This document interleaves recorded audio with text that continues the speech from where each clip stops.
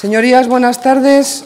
Me acompañan en esta comparecencia los altos cargos de la Consejería de Economía y Hacienda, el director de la empresa pública Cilsopa y, excepto el director general de tributos, que por motivos de enfermedad no me puede acompañar en estos momentos, y está por ahí el coordinador de la Dirección General de Tributos. Me corresponde en esta comparecencia informar a sus señorías de los proyectos de ley de presupuestos generales de la Comunidad para 2016 y de medidas tributarias que le acompañan. Cuestiones que en los últimos meses han acaparado buena parte del trabajo de la consejería que dirijo en intensa colaboración con el resto de los departamentos y entidades cuyos presupuestos se integran en las cuentas generales de la comunidad.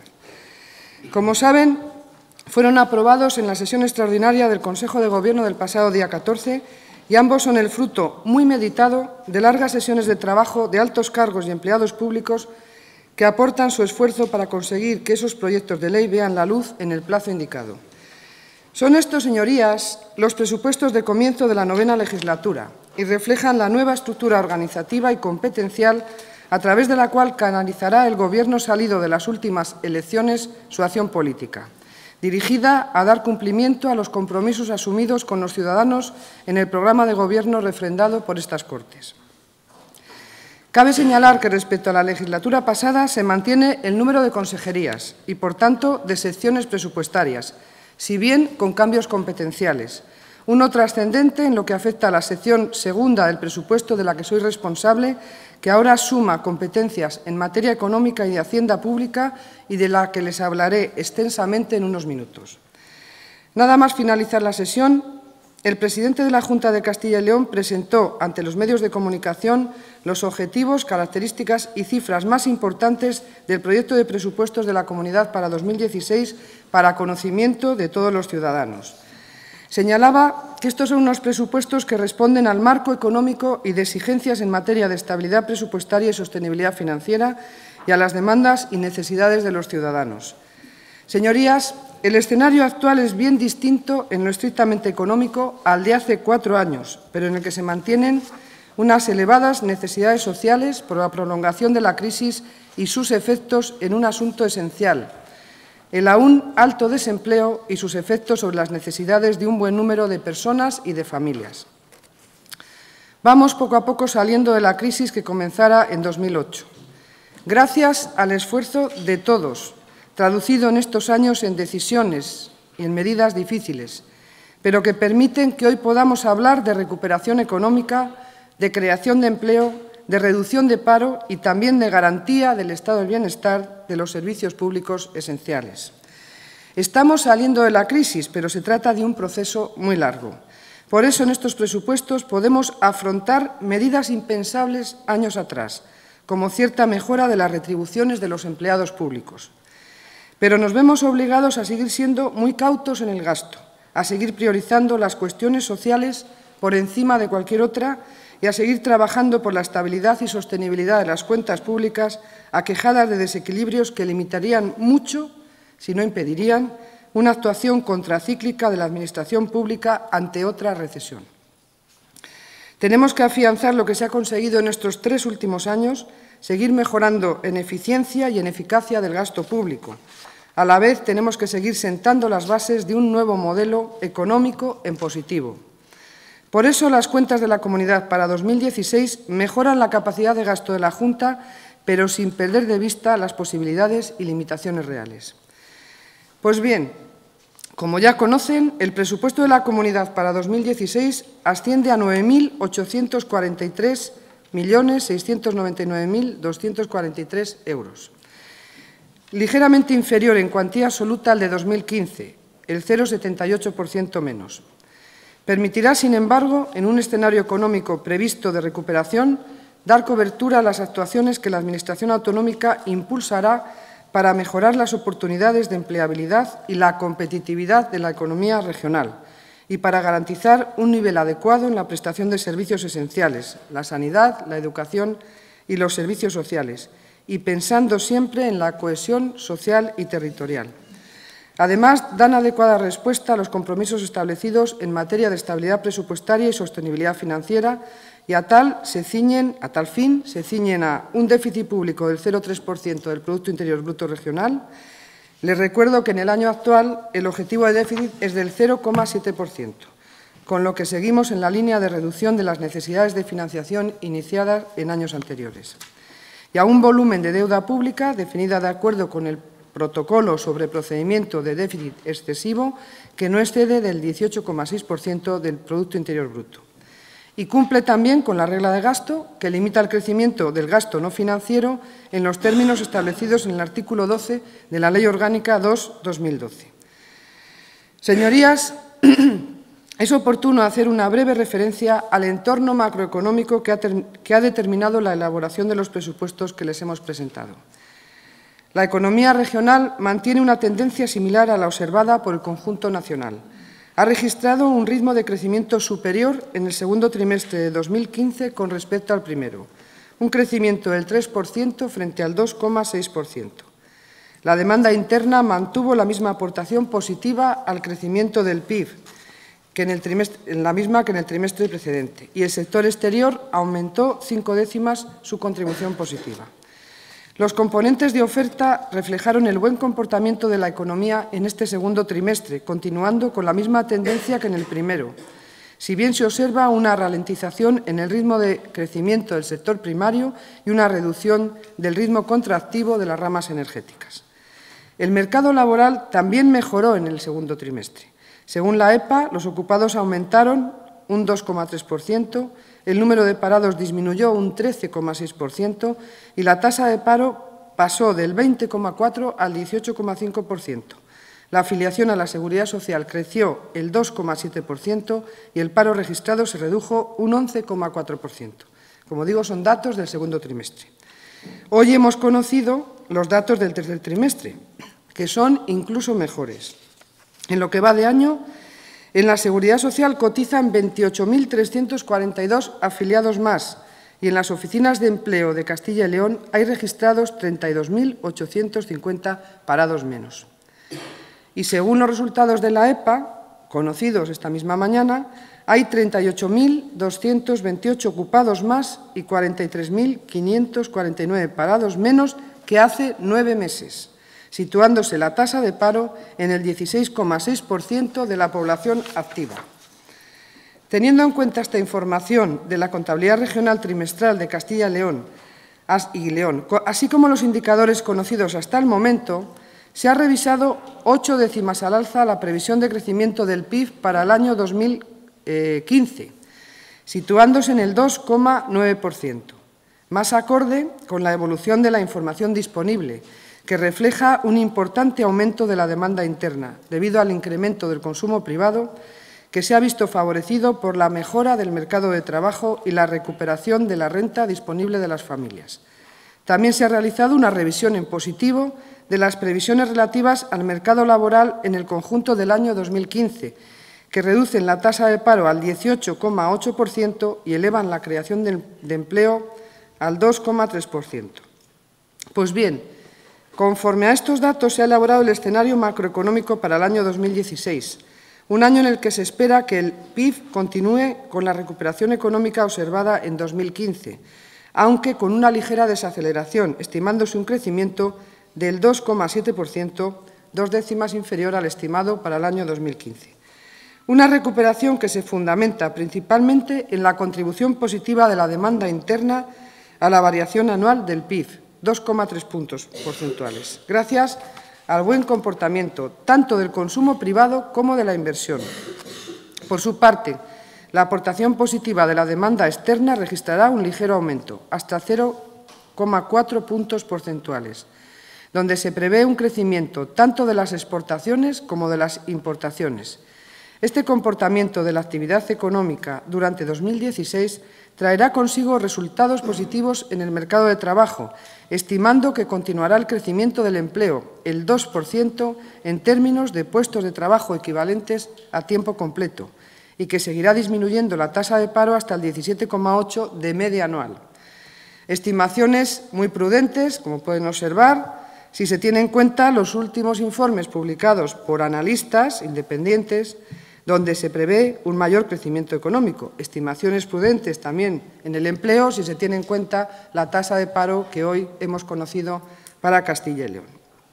En todo caso, es conveniente tener presente que la consecución de este escenario macroeconómico no está exenta de riesgos e incertidumbres, tanto internos como externos, como pueden ser los relativos a la desaceleración de algunas economías a nivel mundial, la sostenibilidad del crecimiento económico de China, la evolución del precio del petróleo, la divergencia entre la política llevada a cabo por el Banco Central Europeo y la Reserva Federal o la evolución de las condiciones económicas y laborales de los principales socios comerciales, en particular, en nuestro caso, el resto de España y de la zona euro. Paso a comentarles ahora las principales notas de los ingresos de que se nutre este presupuesto. Atendiendo a su naturaleza, distinguimos dos tipos de ingresos, sean de carácter financiero o no sean de este carácter. En los últimos años, los ingresos financieros han condicionado de forma más intensa el montante y variación del presupuesto total, tanto por la necesidad de acudir al endeudamiento de forma recurrente para poder atender los gastos públicos desde que comenzó la crisis, como por el calendario de vencimientos de la deuda que se refinancia cada año. En total, los ingresos financieros ascienden en el presupuesto presentado a 1.111,5 millones de euros y suponen el 11,3% del total de los recursos. Esa cuantía representa una reducción de casi un 30% respecto al presupuesto vigente, aunque la deuda de reposición subió un 8% como consecuencia del calendario de vencimientos. Esa reducción es debida a factores muy concretos. De un lado, la rebaja del objetivo de déficit indicado del 0,7 al 0,3% del PIB, que se traduce en menor deuda nueva. En porcentaje, un 55% menos de deuda nueva que el ejercicio anterior. Y de otro, la no presupuestación de operaciones de endeudamiento con el Banco Europeo de Inversiones para la concesión de préstamos a empresas, al no tener la consideración de excepción a efectos del cómputo del objetivo de deuda pública, una circunstancia que ha obligado a prescindir de estos préstamos en el presupuesto y pasar a atender estas necesidades de nuestro sector empresarial mediante otras fórmulas. Los ingresos no financieros, los otros, son los de mayor peso en el presupuesto, el 88,7%, y los que determinan en gran medida el techo de gasto, pues su importe, unido al correspondiente al objetivo de déficit, delimita la capacidad de gasto del presupuesto. Los ingresos no financieros ascienden a 8.732,2 millones de euros, con un crecimiento del 4,4% respecto a 2015. El 67,7% proceden de las entregas a cuenta del sistema de financiación, crecen el 7,2%. El 19,6%, casi un 20%, corresponden a transferencias de la Unión Europea y de otras administraciones, básicamente el Estado. Se reducen en su conjunto el 0,4%. Y, por último, el 17,2% son los denominados ingresos propios, constituidos por los tributos cedidos y gestionados por la comunidad y por otros ingresos de diversa naturaleza, como son los precios públicos por prestaciones de servicios, reintegros de carácter patrimonial, etcétera. Este conjunto de ingresos propios crece en el 3,1%. Siguiendo la clasificación económica del estado de ingresos, el capítulo 1 recoge los impuestos directos, que se verán ligeramente reducidos frente a los de 2015, un 0,3%. Este descenso se debe a la menor recaudación estimada por el Ministerio de Hacienda y Administraciones Públicas en el impuesto sobre la renta de las personas físicas. Es bueno recordar que los ingresos tributarios están experimentando ya en 2015 un comportamiento favorable debido a la mayor actividad económica y al mejor comportamiento del empleo. Quiero recordar aquí que la rebaja en 2015 del tramo autonómico se cuantificó en 150 millones de euros y, sin embargo, se ha traducido en una minoración estimada de 34,7 millones de euros. Dentro de este mismo bloque se encuentra en el impuesto sobre sucesiones y donaciones, cuya recaudación crecerá en 2016 un 2,4% hasta los 196,5 millones de euros.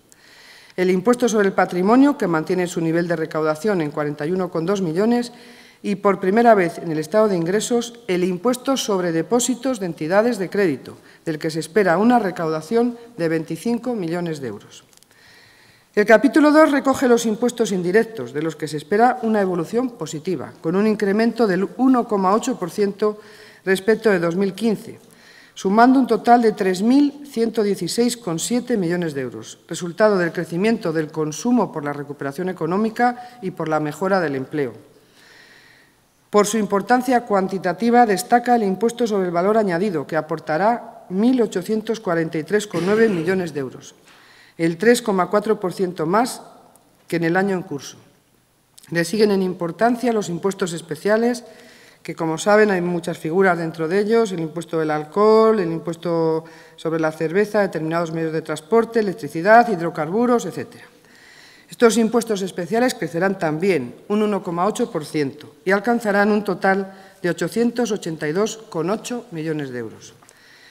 En cuanto a los impuestos indirectos que gestiona la Junta de Castilla y León, destaca el crecimiento del impuesto sobre transmisiones patrimoniales onerosas, nada menos que un 17,6% hasta llegar a los 200 millones de euros, por la reactivación del mercado inmobiliario de segunda mano. En cambio, no esperamos variación en el impuesto sobre actos jurídicos documentados, cuya recaudación se mantendrá en 110 millones de euros.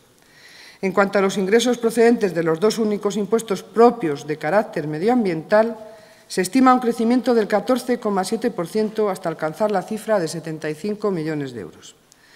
Es de destacar también la desaparición para 2016 de la tarifa autonómica sobre la venta de hidrocarburos, si en 2012 había razones más que suficientes para establecer un impuesto de esta naturaleza, hoy la diferente situación económica y presupuestaria permite su eliminación. No obstante, se prevé un ingreso de 5 millones de euros correspondiente a la recaudación de vengada en los últimos meses de 2015. Las tasas, precios públicos y otros ingresos se integran en el capítulo tercero, se incrementan en conjunto un 4,4%, aportando entre todos ellos 298,5 millones de euros. Por su parte, las transferencias corrientes, que son el capítulo cuarto, contribuyen al presupuesto con 2.782,5 millones de euros, un 15,8% más que en 2015. Un crecimiento que se debe fundamentalmente a la liquidación definitiva del sistema de financiación que fue negativa en el presupuesto de 2015, menos 54,75 millones, y que en 2016 superará los 318,3 millones de euros.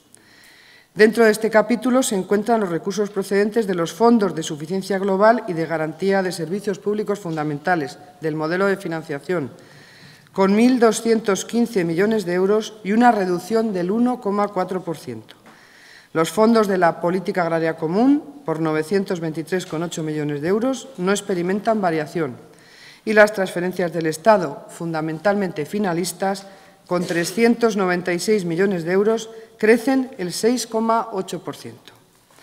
Los restantes 3,4 millones de euros son transferencias de otras entidades. El capítulo 5 lo integran los ingresos patrimoniales, cuya cuantía se estima en 36,8 millones de euros, experimentando un descenso del 25,8%. El conjunto de estos capítulos constituye los ingresos por operaciones corrientes, cuyo importe crece el 5,5% hasta los 8.237,3 millones de euros.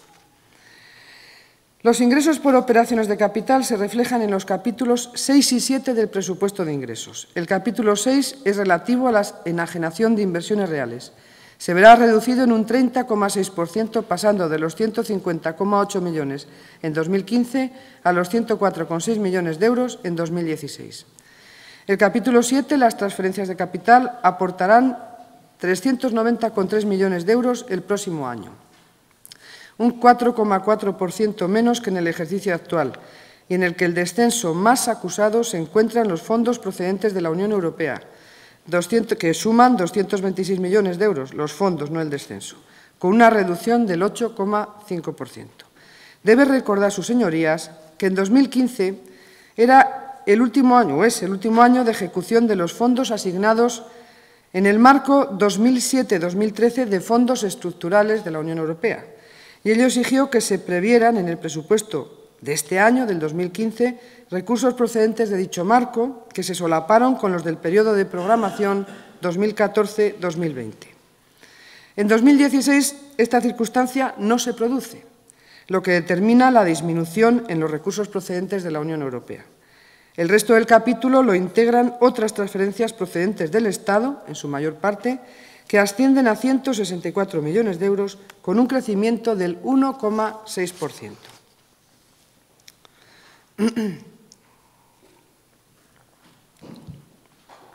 Señorías, comenzamos con el análisis de los gastos y también es necesario distinguir entre operaciones financieras y no financieras. Las operaciones financieras recogen básicamente el importe de la amortización de deuda. Así ocurre con el capítulo 9, que asciende a 871,8 millones de euros, con un incremento del 8,8%. Incluye la amortización de deuda por 817,3 millones y el resto, que son 54,5 millones, corresponde a la amortización de los préstamos que sirvieron para financiar las ayudas de carácter reembolsable a las empresas. El capítulo octavo, con 61,9 millones, presenta una reducción del 79,1% como consecuencia del cambio de criterio respecto de los préstamos del Banco Europeo de Inversiones que se utilizaban en las ayudas reintegrables a las empresas. No obstante, aún se mantienen estas ayudas a financiar con fondos, entre otros, del Ministerio de, Economía y Competitividad, y cuyo importe, 59,2 millones, se seguirá destinando a préstamos reintegrables y otros apoyos financieros que se pondrán a disposición de las empresas. Los gastos no financieros, el montante más grueso del presupuesto, ascienden a 8.910 millones de euros y constituyen el verdadero techo de gasto para 2016, con un crecimiento del 1%. Este es su límite de gasto que mejora en 23,6 millones el fijado en el acuerdo aprobado en estas Cortes el pasado 23 de septiembre, lo que tiene su justificación en un aumento de las transferencias del Estado y de los fondos de la Unión Europea, así como un ligero ajuste al alza de nuestros ingresos. Este nuevo techo de gasto de 8.910 millones respeta, en todo caso, el límite de la regla de gasto establecido en el artículo 12 de la Ley Orgánica 2-2012. El presupuesto para 2016, por tanto, dispone de 87 millones más que el de 2015 para atender el gasto no financiero del conjunto de la Administración de la Comunidad y, en particular, de las consejerías y, de manera singular, el de las consejerías sociales. Así, desde el punto de vista de su naturaleza económica, el capítulo primero destinado a los gastos de personal se elevará casi un 2%. En total supone 3.575 millones y representan el 36,3% de todos los gastos. La mayor parte de este personal es el que presta sus servicios en las consejerías sociales. Tanto es así que el 86,7% de todos los gastos de personal corresponden a estas tres consejerías, Sanidad, Educación y Familia e Igualdad de Oportunidades. En el restante 13,3% se incluyen las retribuciones del personal del resto de las consejerías e incluso las del personal de estas Cortes y del resto de instituciones propias de Castilla y León. Cabe destacar que este capítulo 1 contempla el incremento del 1% de las retribuciones de los empleados públicos, así como el abono de otro 25% de la paga extraordinaria de diciembre de 2012. El capítulo segundo corresponde a los gastos corrientes en bienes y servicios, que con sus 1.321,8 millones representan el 13,4% de todos los gastos. También en este caso, el grueso del gasto Nada menos que el 94,3% se destina a sanidad, educación y familia e igualdad de oportunidades. El resto de las consejerías se repartirán 75 millones de euros. El capítulo tercero recoge los gastos financieros, los correspondientes al pago de intereses, y en 2016 experimentarán un fuerte descenso, el 18,6% menos suponen un 3,3% del presupuesto y básicamente el 98% corresponde a la sección deuda pública. El resto deriva de las ayudas o préstamos otorgados a las empresas. Este descenso implica que se hayan liberado 75,4 millones de euros que pueden destinarse a otras partidas y políticas de gasto.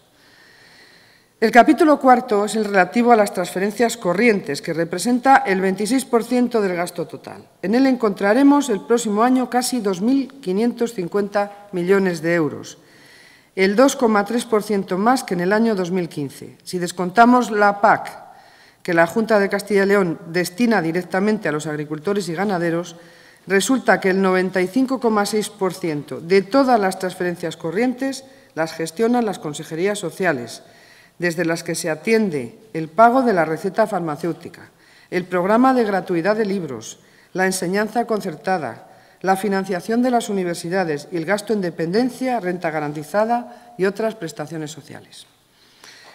Con el capítulo cuarto cerramos los gastos por operaciones corrientes, que suponen el 79% de todo el presupuesto.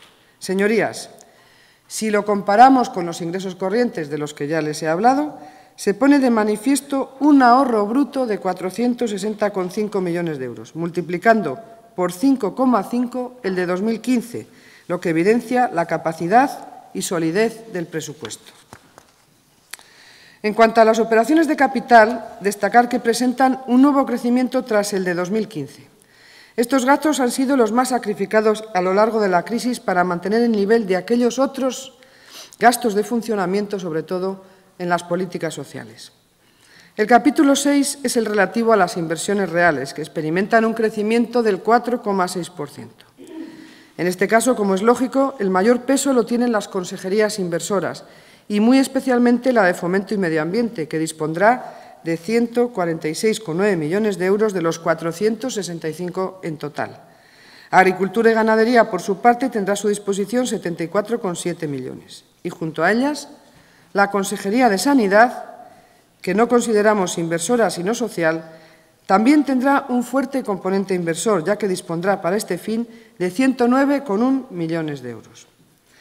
Con ello se comienza a dar cumplimiento a los compromisos inversores asumidos para esta legislatura. El capítulo 7, las transferencias de capital, también participa en el incremento de los gastos de capital. En su caso, ese crecimiento alcanza el 1,8%, lo que sitúa la cifra global en 668,2 millones de euros. En este caso, en este capítulo, es la Consejería de Agricultura y Ganadería la que presenta la cifra más abultada, con 191,2 millones de euros. Le siguen en cuantía la Consejería de Empleo, con 172,3 millones, y Economía y Hacienda, con 78,6 millones.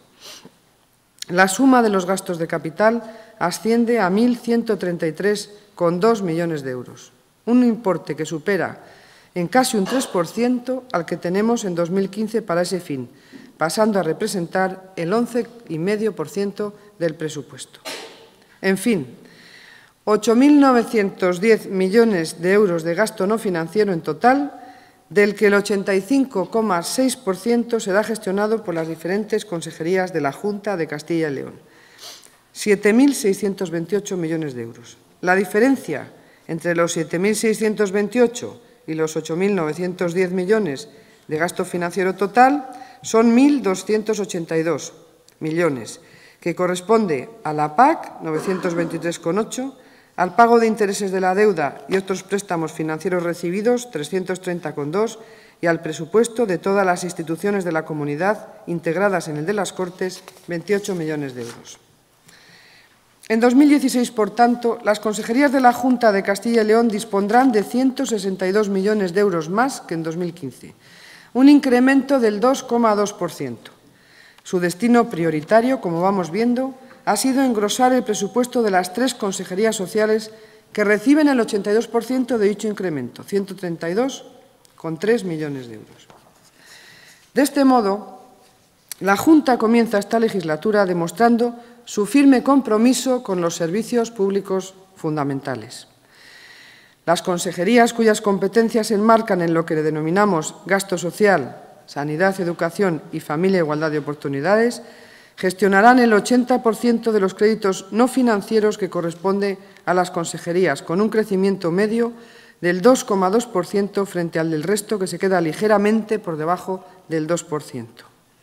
En su conjunto, 6.073,4 millones dirigidos a mantener y mejorar la atención sanitaria y el funcionamiento de nuevos centros sanitarios y hospitales, 3.299,2 a garantizar la calidad de nuestro sistema educativo, 1901,8, y atender las necesidades de los ciudadanos que, por razones tanto de la crisis como de sus circunstancias personales y familiares, pudieran encontrarse en riesgo de exclusión a través de la prestación de la renta garantizada de ciudadanía, atención a la dependencia, infancia, mujeres, personas con discapacidad. En total, esta consejería dispondrá de 872,4 millones de gasto no financiero. La Consejería de Empleo, que por sus características también podría ser considerada social, presenta el mayor crecimiento, el 11,2%, con un presupuesto de 258,5 millones de euros. Dotación que, unida a otros programas gestionados por otras consejerías, supone que las políticas de empleo dispondrán de un total de 273,6 millones de euros. Volumen de recursos para apoyar estas políticas que crece el 12%. La prioridad número uno de este nuevo Gobierno, el empleo, queda pues claramente demostrada en las primeras cuentas públicas que presentamos. En cuanto al presupuesto dirigido a gasto no financiero del resto de las consejerías denominadas no sociales, la Consejería de Fomento y Medio Ambiente dispondrá de 422 millones, con un incremento del 1,7%, donde su capítulo de inversiones crece cerca del 3%. La Consejería de Agricultura y Ganadería dispondrá de 390 millones para atender sus políticas de gasto no financiero. Presenta una reducción algo menor del 7%, consecuencia de la desaparición en 2016 de los fondos FEADER que se presupuestaron en 2015 para garantizar la ejecución del Programa de Desarrollo Rural 2007-2013 de acuerdo con la regla N 2, siendo el último en el que se podían presupuestar el año 2015. Descontando el efecto de la coincidencia en el presupuesto de 2015 de fondos europeos del marco vigente 2014-2020 y del anterior de fondos estructurales 2007-2013 y homogenizando las cifras, la Consejería de Agricultura y Ganadería dispondrá de 14 millones más que en 2015, lo que representa un incremento del 3,6%. La Consejería de Economía y Hacienda, que yo dirijo, dispondrá de 258 millones de euros para gasto no financiero, un 1,5% más que en 2015 fundamentalmente para atender los apoyos al sector empresarial. No obstante, más adelante tendré la oportunidad de referirme más extensamente a esta consejería. Por último, la Consejería de la Presidencia, con 117,7 millones de euros, muestra una disminución del 1,2%, consecuencia de la reducción del 75% del gasto vinculado al proceso electoral celebrado en este año y la Consejería de Cultura y Turismo, con 114,8 millones, presenta un crecimiento del 3,9% que se absorbe fundamentalmente en la Dirección General de Patrimonio y en la de Deportes. Creo haber dado cumplida información de la distribución del gasto del presupuesto, cuyo contenido será más detallado por los respectivos consejeros cuando vayan compareciendo en estas Cortes. Desde luego, si así lo consideran, atenderé las solicitudes de aclaración a lo largo de esta comparecencia y paso a referirles ahora la información básica relativa a las empresas y fundaciones públicas que seguramente les va a ser ampliada por los titulares de las consejerías de las que dependen. Señorías, un breve apunte pues en relación al sector empresarial y fundacional de la comunidad. Como resultado del proceso de reestructuración del sector público instrumental iniciado en 2010, actualmente solo contamos con dos empresas públicas, la Sociedad Pública de Infraestructuras y Medio Ambiente, Somacil, y Castilla y León Sociedad Patrimonial, Cilsopa. La primera de ellas dispondrá en 2016 de un presupuesto de 59,1 millones, de los que 49,5 serán para inversiones. Sobre todo, construcción de plantas de depuración de aguas residuales y el Plan de Bioenergía de Castilla y León.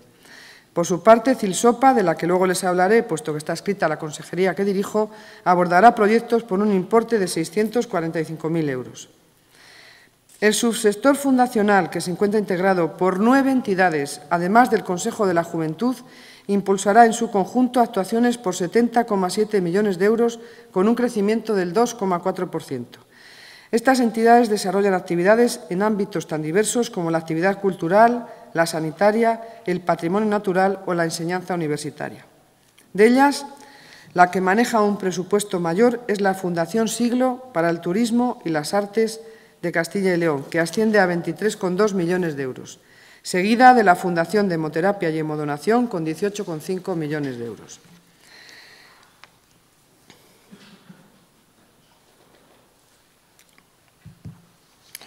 Respecto al articulado de los proyectos de ley de presupuestos y de medidas, cabe señalar que el primero contiene las normas de gestión presupuestaria en 2016, la previsión de no incremento de las tasas públicas y las normas relativas a retribuciones y empleo público, que es donde destacan las principales novedades respecto a 2015.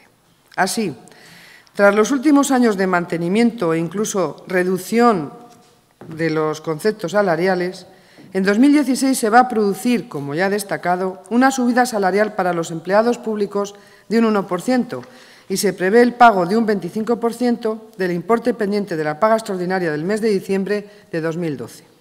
Junto a esto se amplía la tasa de reposición de efectivos en paralelo a lo previsto por el Estado en sus presupuestos generales. Esto es, la tasa de reposición del 100% en los sectores más sensibles como sanidad, educación, lucha contra el fraude, empleo, extinción de incendios, etc.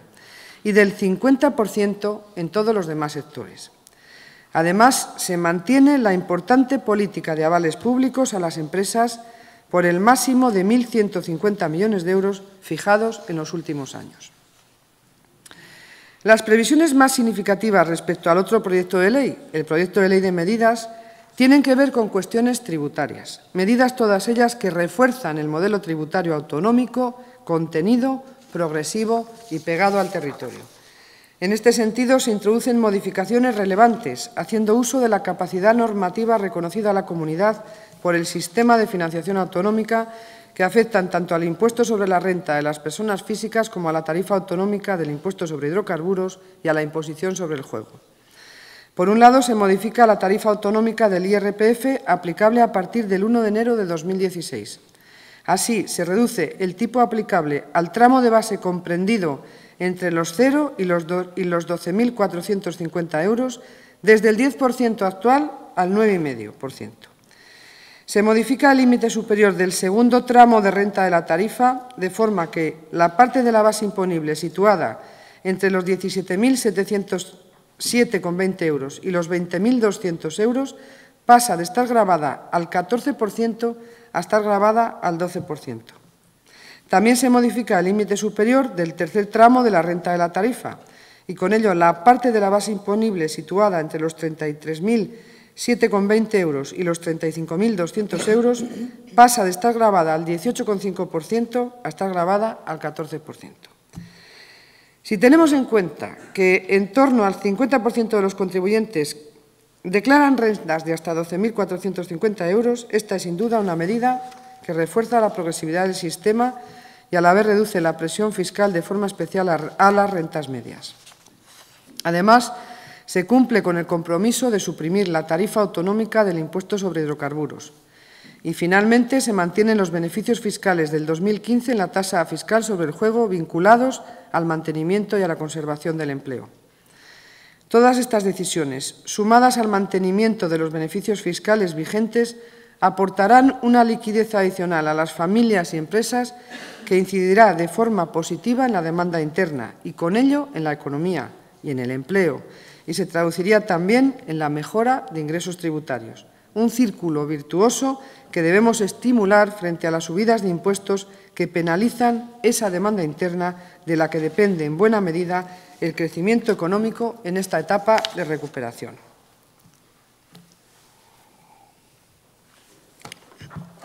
Me corresponde ahora informarles de la sección presupuestaria segunda, que integra el presupuesto de la Consejería de Economía y de Hacienda, de la Agencia de Innovación, Financiación e Internacionalización Empresarial de Castilla y León, ADE, y del Ente Público Regional de la Energía de Castilla y León, EREN, que son entes instrumentales al servicio de las políticas económicas, y además de la sección presupuestaria 21 de la deuda pública, así como de los trabajos que tienen previsto realizar en 2016 la empresa pública Cilsopa y la Fundación Santa Bárbara.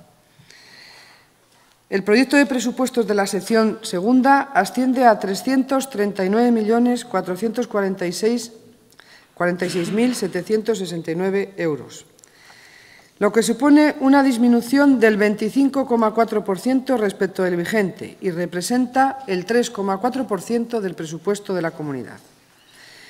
En cuanto al análisis por tipo de gasto en el presupuesto, destaca el gran peso que tiene el capítulo 1 de gastos de personal, que con un importe de 97,4 millones representa el 28,7% del presupuesto.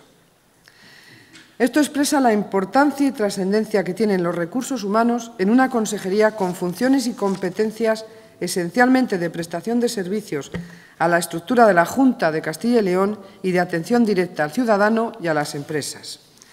El presupuesto previsto para atender los gastos corrientes en bienes y servicios, que es el capítulo segundo, incluidas las delegaciones territoriales, cuya gestión administrativa continúa realizándose desde esta consejería, tiene una dotación de poco más de 24 millones, experimentando una reducción del 0,3% sobre el presupuesto equivalente del ejercicio anterior.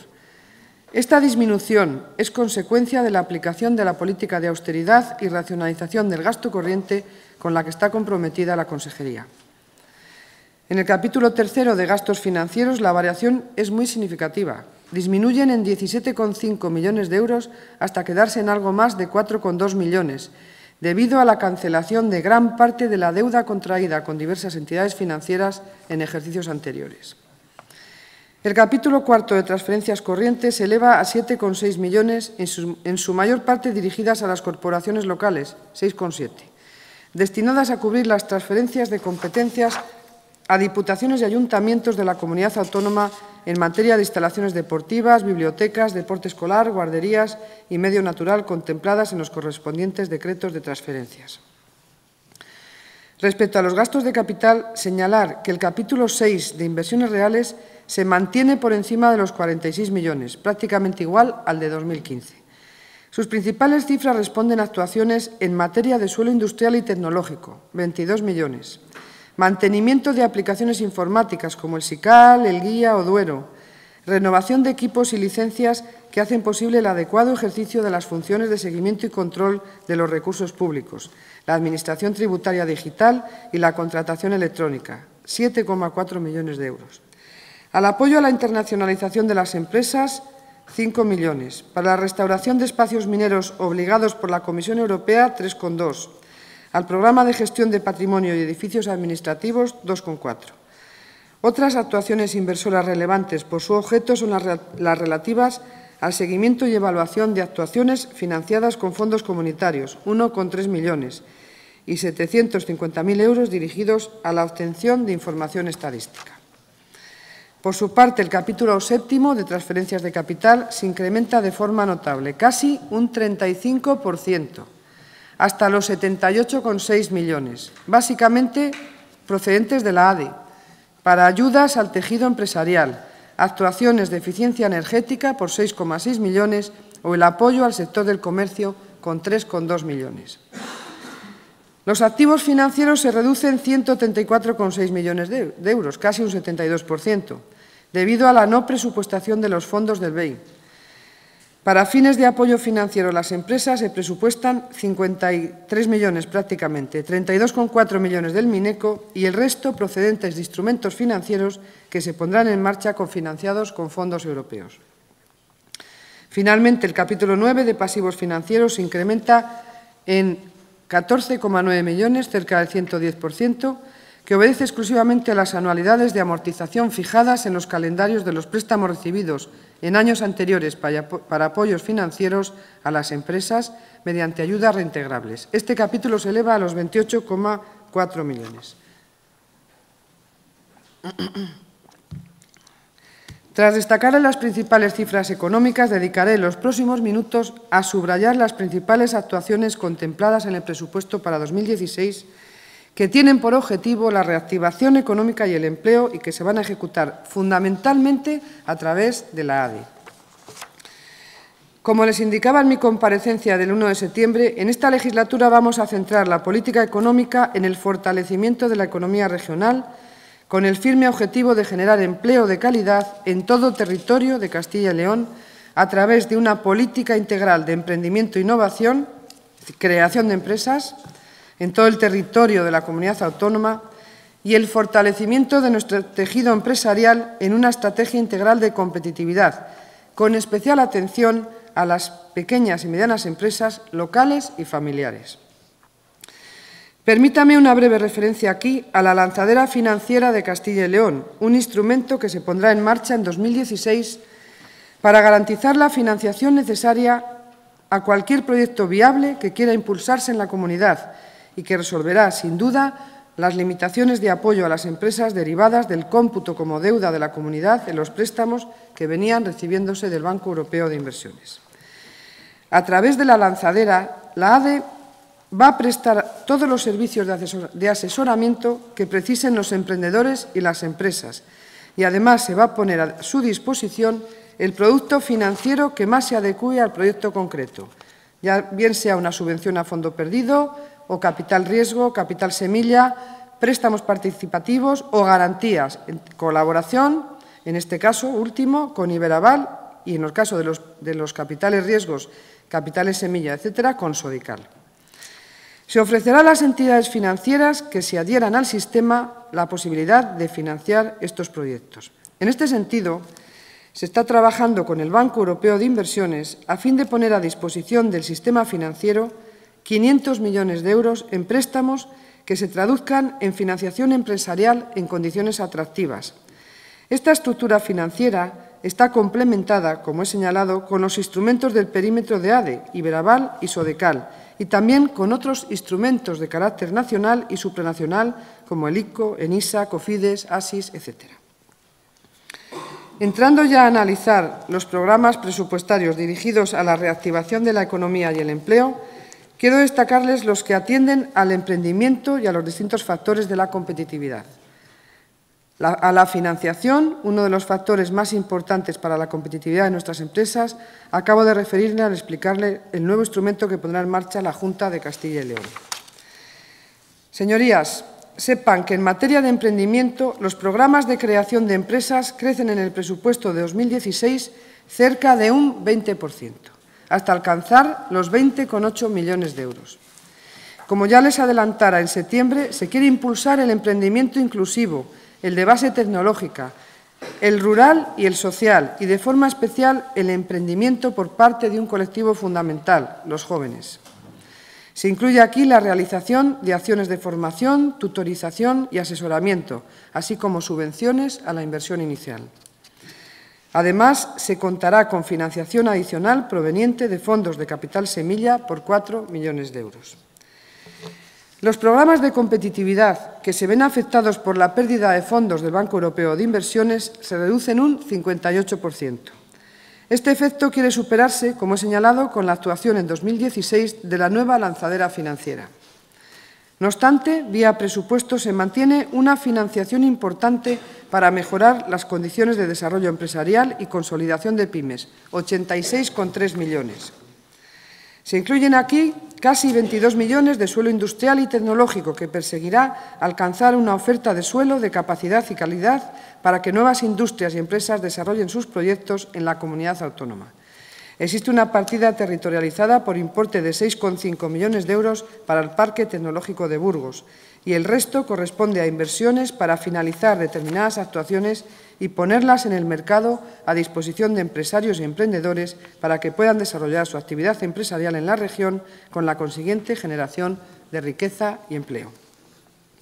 Además, es destacable la mejora de los fondos destinados a impulsar otro factor vinculado al emprendimiento y determinante de la competitividad, como es la innovación. En el presupuesto de 2016 crece un 11% hasta los 58,5 millones. Y esto para las empresas. La nueva estrategia de innovación tecnológica va a apoyar el desarrollo de productos y procesos innovadores, así como el, establecimiento de un sistema de transferencia tecnológica. Un crecimiento aún más significativo muestra el presupuesto para la internacionalización, otro de los factores de la competitividad. Crece un 206,7%, que le permite alcanzar los 10 millones de euros.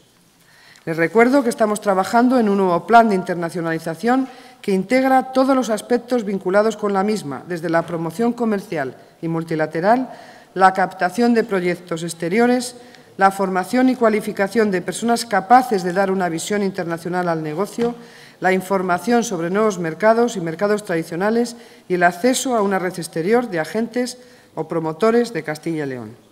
Y finalmente, al igual que destacara en mi intervención de septiembre, otro factor de competitividad, la eficiencia energética empresarial, se va a apoyar con más de un millón de euros, en este caso desde la Dirección General de Energía y Minas. Señoras y señores procuradores, la política sectorial tiene en la Consejería de Economía y Hacienda un papel prioritario. Por eso, junto a las medidas descritas impulsadas desde el presupuesto de la ADE, debo hacer una referencia a las específicas en materia de industria, energía y minas y comercio a impulsar en 2016 con cargo al presupuesto de la Consejería. Por lo que respecta a la política industrial, corresponde, como saben, a la Dirección General de Industria y Competitividad y se instrumenta a través de la ADE, que está escrita precisamente a esta Dirección General. Por eso, en el presupuesto de esa Dirección General, con una dotación de 6 millones de euros, un 42,4% más que en 2015, se atiende a cuestiones relacionadas con política industrial y competitividad. Pero también es verdad que esta Dirección General atiende a las actuaciones en materia de seguridad industrial, factor de competitividad y un hecho diferencial a la hora de competir en los mercados, y se centrarán en fomentar la formación en el ámbito de la seguridad industrial en colaboración con los colegios profesionales y asociaciones de instaladores, para lo que se contempla una partida de 80.000 euros. Se mantiene el apoyo a los laboratorios de ensayo, calibración y metrología de Castilla y León, que supone una red de apoyo a las empresas de Castilla y León. Además, se va a articular un plan renove de calderas y calentadores en 2016 dotado con 200.000 euros para la mejora de la seguridad, eficiencia energética y protección del medio ambiente mediante una aportación económica por cada equipo sustituido. Por su efecto dinamizador del tejido empresarial de Castilla y León, se reforzará el apoyo regional a las agrupaciones empresariales innovadoras o clúster, con una línea de subvenciones de 500.000 euros cofinanciada con fondos FEDER. Por último, se realiza una gran apuesta hacia los agentes públicos de investigación y, en particular, este año se enfocará al sector cárnico, para lo cual se colaborará con 1.200.000 euros con la Universidad de Burgos en la creación de un centro tecnológico de innovación en ese sector. En materia de política de energía y minas, cabe destacar que el volumen de recursos destinados a fomentar estos sectores incrementa en 2016 un 10,3%, si atendemos exclusivamente al presupuesto de la Dirección General, que asciende a 13,6 millones. En relación al sector minero, recordar que en 2016 aprobaremos la Estrategia de Recursos Minerales de Castilla y León, que permitirá evidenciar el potencial minero de la comunidad, así como la adopción de medidas administrativas que permitan la creación de unas condiciones adecuadas para el desarrollo de actuaciones y proyectos que activen ese potencial minero. Los presupuestos del próximo año contemplan una partida de 100.000 euros para su puesta en marcha. Destacar al respecto que el potencial de la minería metálica de Castilla y León se encuentra en pleno auge. El máximo interés se focaliza actualmente en el wolframio, por su importancia estratégica para la Unión Europea, así como por la importancia de sus yacimientos. Respecto a los minerales industriales, debo destacar la magnesita, materia prima crítica para la Unión Europea, y de la que en Castilla y León contamos con uno de los principales yacimientos ubicados en el término municipal de Borovia, en Soria. En el ámbito de la minería del carbón, actuaremos dentro de nuestras competencias para conseguir definitivamente la implementación de lo dispuesto en el Real Decreto 675-2014 de 1 de agosto, por el que se establecen las bases reguladoras de las ayudas al impulso económico de las comarcas mineras del carbón mediante el desarrollo de proyectos de infraestructuras y proyectos de restauración de zonas degradadas a causa de la actividad minera. Como es conocido, supondría poder movilizar hasta 125 millones de euros en proyectos de infraestructuras y restauración de espacios hasta 2018. Y la Junta destaca tanto la necesidad como la obligación de actuar decididamente en la reactivación de las cuencas mineras. Esto todavía no está presupuestado. A su vez, resulta ya urgentísimo la puesta en marcha por el Minetur de los mecanismos de apoyo previstos en el marco 2013-2018 que faciliten la adaptación de las centrales de carbón nacional a las exigencias de la Directiva de Emisiones Industriales mediante la aprobación de la orden de pagos por capacidad que establezca la obligatoriedad de compra de carbón hasta el 31 de diciembre de 2018 y que permita que el carbón nacional alcance una presencia del 7,5% en el mix de generación eléctrica español. Y como ya he señalado, Continuaremos desarrollando actuaciones de restauración de los espacios degradados por la minería de carbón en el Valle de la Laciana, en León, conjuntamente con la Consejería de Fomento y Medio Ambiente, destinando a tal fin 3,2 millones de euros en consonancia con las obligaciones asumidas con la Comisión Europea. En materia de formación para el empleo, la Fundación Santa Bárbara, como luego destacaré, seguirá jugando un papel destacado en las políticas de fomento del empleo en sectores tan singulares como el minero, el energético y de la construcción en Castilla y León. Y en materia de prevención de riesgos laborales, continuaremos en colaboración con el Instituto Nacional de Silicosis, considerado como centro de referencia nacional, desarrollando actuaciones en forma de asesoramiento, formación y cuantas acciones específicas sean adecuadas, tanto en el ámbito de la prevención de riesgos laborales como en el diagnóstico y asistencia y. En los presupuestos de la Dirección General se contempla una transferencia de capital por un importe de 25.000 euros, la cual tiene por finalidad continuar la colaboración de esta comunidad y el Instituto Nacional de Silicosis, que vienen desarrollándose en los últimos años. En el ámbito energético continuaremos trabajando por dar respuesta a las necesidades que demanden todos los sectores en el nuevo entorno de crecimiento económico. Destacan las actuaciones presupuestadas para el fomento del ahorro, la eficiencia energética y las energías renovables a través de la convocatoria de subvenciones por 6,6 millones de euros financiadas al 50% por fondos FEDER. De estos fondos, 5,1 millones de euros, irán dirigidos a las comunidades de propietarios y asociaciones o entidades sin ánimo de lucro, con el objeto de actuar en proyectos integrales sobre los edificios. Y 1,5 millones a actuaciones de ahorro y eficiencia energética en las pequeñas y medianas empresas de la comunidad.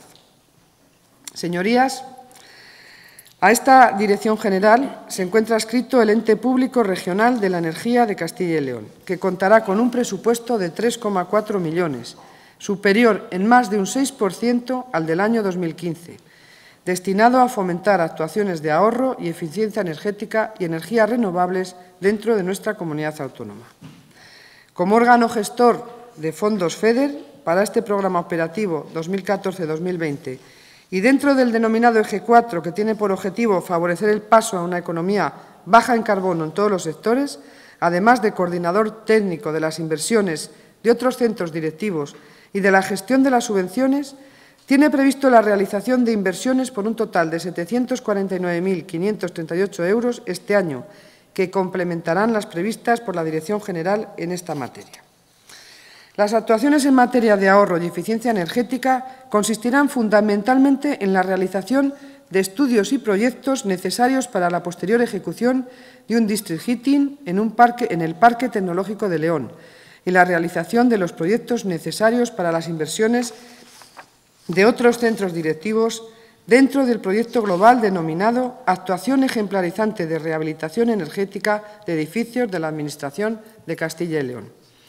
Por lo que se refiere a las energías renovables, se ejecutarán instalaciones de energía solar térmica y biomasa en albergues, en albergues y establecimientos hoteleros en el Camino de Santiago, redes de calefacción centralizada con biomasa y actuaciones de biomasa en edificios emblemáticos de Castilla y León para aprovechar su promoción y difusión.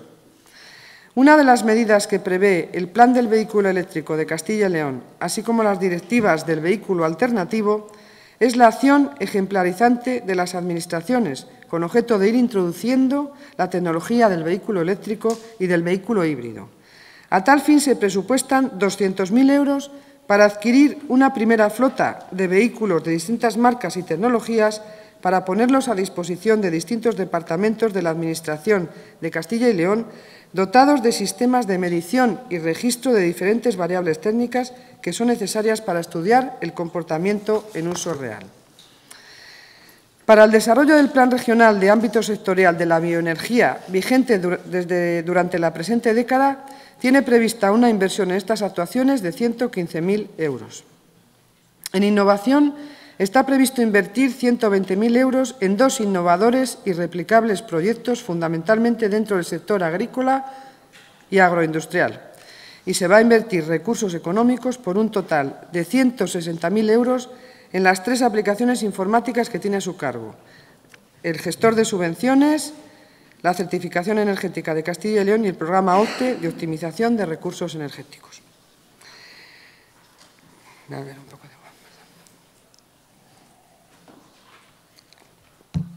En materia de política comercial, desde la Dirección General de Comercio y Consumo se implementarán políticas orientadas al fomento de la innovación y a la mejora de la gestión, apostando por facilitar la transmisión de la actividad comercial y el emprendimiento. Contará con una dotación presupuestaria de 9,4 millones, superior en un 2,18% al del año 2015. Desarrollaremos una nueva estrategia para el, para el comercio con el horizonte 2016-2018, con las pymes como principal destinatario final de las medidas. La estrategia dispondrá en 2016 de 160.000 euros para la creación de una red de agentes de comercio interior y la profesionalización de los recursos humanos, fundamentalmente en el uso de las nuevas tecnologías y, sobre todo, en la formación del personal adscrito a esta red de agentes. Con el objetivo de fortalecer el pequeño comercio, se va a destinar 1,3 millones de euros a seguir generalizando el uso de las TIC mejorar la gestión de los establecimientos comerciales y fomentar las buenas prácticas comerciales. Prestaremos asimismo especial atención a los emprendedores y a la continuidad en el ejercicio de la actividad comercial. Para ello se va a potenciar la plataforma de transmisión de comercios en colaboración con las cámaras oficiales de comercio, industria y servicios de Castilla y León, con una inversión de 400.000 euros. También se prevé una partida de 750.000 euros dirigida a la consecución del objetivo de dinamizar áreas y estructuras comerciales. En cuanto a las actividades de promoción conjunta de la actividad comercial, consignaremos 600.000 euros, haciendo especial incidencia en la promoción conjunta del turismo y del comercio. Prestaremos apoyo a los sectores de la artesanía y de la moda, el primero muy posicionado en el entorno rural, destinando 238.000 euros a las pymes de estos sectores, con el fin de generalizar el uso de las TIC, promocionar proyectos innovadores y mejorar su gestión. Dedicaremos especial atención a las actividades que se encaminen a la consolidación y crecimiento de la pasarela de la moda o la utilización del Centro de Artesanía de Castilla y León. Y se destinan también 200.000 euros para el fomento de la actividad empresarial en el sector del vidrio. En el ámbito del consumo, además de continuar velando por la seguridad, la calidad y la veracidad de la oferta, van a ser objetivos prioritarios la utilización por las empresas de grandes bases de datos, la publicidad engañosa, la imposición abusiva de precios y el mantenimiento del sistema arbitral de consumo. Vamos a seguir potenciando e impulsando actitudes de consumo responsable, saludable y solidario, siempre en colaboración con las asociaciones de consumidores y usuarios. Para ello se cuenta con un presupuesto de 200.000 euros, que nos permitirá reforzar tanto la información como la formación de los consumidores. Y dado que el espacio idóneo para comenzar es el aula, continuaremos con los talleres de consumo y con la participación en el concurso escolar Consumo, Consumópolis. Señorías, dentro del ámbito competencial de la Consejería de Economía y Hacienda también se encuentran, como saben, las relativas a la política de endeudamiento de la comunidad y que desde el punto de vista presupuestario se concreta en la sección 21, Deuda Pública. Esta sección, como ya conocen, recoge los créditos para hacer frente tanto a los pagos por intereses como por amortización del capital y que en 2016 se han cifrado en 1.083 millones, lo que supone un incremento interanual del 0,37%. Esta leve variación positiva se debe exclusivamente al mayor volumen de las amortizaciones ordinarias que se van a producir en 2016 con respecto a las registradas un año antes, de acuerdo con el calendario que tenemos de vencimientos. En concreto, los créditos afectos al reembolso del capital se han cifrado en 759,6 millones, es decir, aproximadamente 61 millones de euros más que un año antes, lo que supone un incremento interanual del 8,7%. Este importe incluye principalmente 342,6 millones para amortizaciones de emisiones de deuda, 77,3 para préstamos concertados con el Banco Europeo de Inversiones y el Banco del Consejo de Europa y 335,7 para cubrir vencimientos de préstamos con entidades nacionales. Por el contrario, la partida que destinamos a intereses se reduce sensiblemente hasta los 323,3 millones, casi un 15% menos, lo que en términos absolutos supone rebajar en torno a 57 millones de euros el coste del endeudamiento. ¿Y ello por qué? Pues todo ello a pesar de que el volumen de endeudamiento de la comunidad aumentará en este ejercicio, motivado principalmente por la financiación del déficit previsto del 0,3% del PIB regional y de la cobertura de la cuota correspondiente a la devolución de las liquidaciones negativas del sistema de financiación de los años 2008 y 2009. A este ahorro de intereses coayuva la aplicación por segundo año consecutivo de un tipo de interés del 0% al préstamo formalizado con cargo al Fondo de Facilidad Financiera, y al que la comunidad se adhirió en 2015 para cubrir sus necesidades de endeudamiento. Igualmente contribuye a esta reducción del gasto en intereses la rebaja de tipos de algunas operaciones, fruto de la gestión activa de la cartera de deuda realizada y que se ha visto plasmada en acuerdos bilaterales de innovación o mediante amortizaciones anticipadas selectivas, que han sido cubiertas con deuda sustitutiva a menor coste. Asimismo, esta menor partida por intereses también refleja la mejoría en las condiciones de financiación de la comunidad, lo que conlleva asumir, en el caso de operaciones de reposición, tipos de interés inferiores de la deuda nueva en relación a la deuda que vence. En este sentido, la presupuestación se ha realizado considerando que los costes de financiación se mantendrán en los niveles actuales.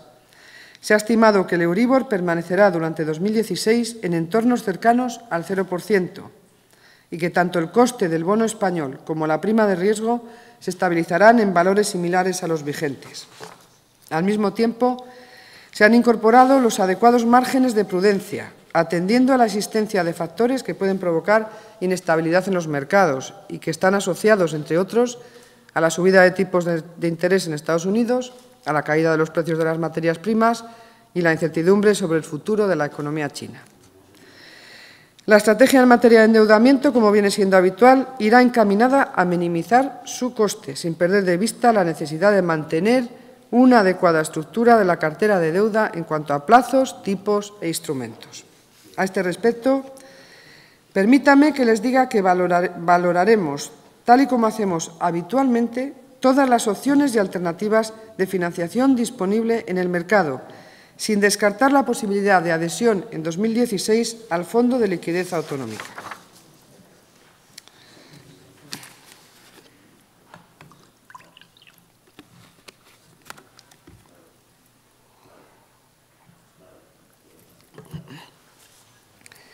Paso a exponerles ahora las principales actuaciones que va a desarrollar la empresa pública Castilla y León Sociedad Patrimonial en el 2016.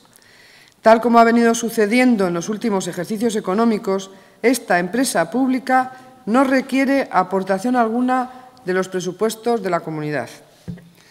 En primer lugar, una vez terminada en 2015 la construcción del nuevo centro de proceso de datos para la Junta de Castilla y León en el complejo del Hospital Militar, la empresa pública se encargará durante los ejercicios 2016 a 2018 de su mantenimiento integral, así como de su gestión conjunta con los órganos competentes de la Junta de Castilla y León. La ejecución de estas actuaciones se orientará a garantizar que la nueva infraestructura cumple con los objetivos de profundizar en el desarrollo de la Administración electrónica y que, al mismo tiempo, los ahorros generados con su puesta en funcionamiento permiten amortizar la inversión realizada en un número reducido de años. Está previsto que a lo largo de 2016 la sociedad colabore con ADE en la ejecución de dos tipos distintos de actuaciones. Por un lado, la gestión integral de algunas inversiones, titularidad de la ADE, es decir, desde su planificación inicial hasta su total terminación, y por otro, en la ejecución del plan de enajenación del patrimonio inmobiliario en relación a los bienes también titularidad de la ADE. Con la actuación conjunta de ADE y CILSOPA se permitirá optimizar la utilización de los recursos materiales y personales disponibles en el conjunto del sector público de la Comunidad de Castilla y León para lograr los objetivos de los entes implicados. Respecto a las actuaciones de la Fundación Santa Bárbara en 2016, previstas en 1,7 millones de euros, destacar que se va a continuar desarrollando una relevante labor en la mejora de la empleabilidad de personas desempleadas residentes principalmente en las cuencas mineras de la provincia de León.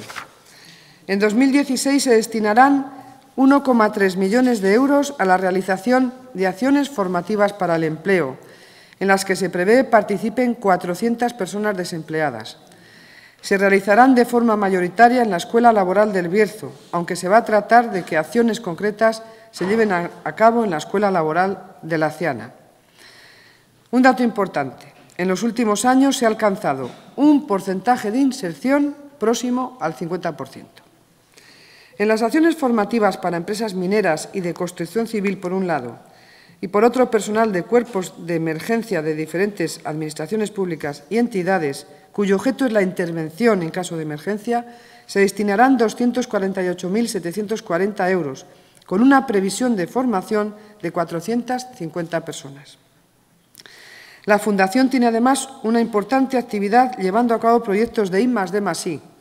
Durante 2016 se ejecutarán de manera simultánea tres proyectos de elevada importancia a través de los cuales la Junta de Castilla y León estará presente de manera directa en la realización de actividades de investigación y desarrollo punteras en el sector minero y en la construcción subterránea en general.